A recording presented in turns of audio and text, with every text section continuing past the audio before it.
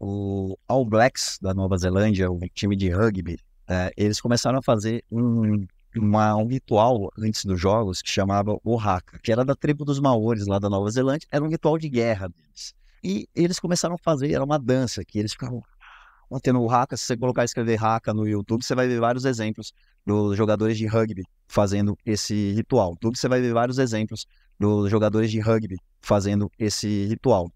E nesse, uh, nesse ritual, esse time começou a fazer na né, era da Nova Zelândia, então eles trouxeram esse ritual e eles começaram a fazer antes dos jogos.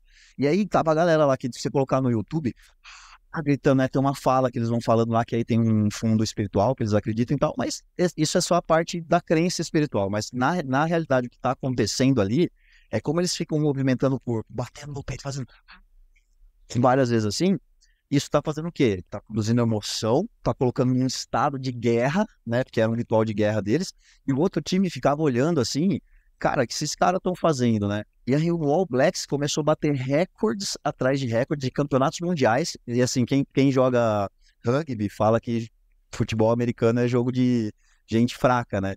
Porque o rugby é sem porradaria, é sem proteção.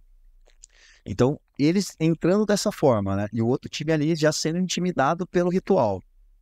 Aí eles ganhando mundiais um atrás do outro. Aí os outros times começaram, eles fizeram o quê? Contrataram gente da tribo dos Maori para ensinar eles a fazerem um ritual também. E hoje, quando você vai assistir jogo de rugby, é um. Antes todo mundo faz aquele ritual do haka ali, que nada mais é do que uma mudança de estado.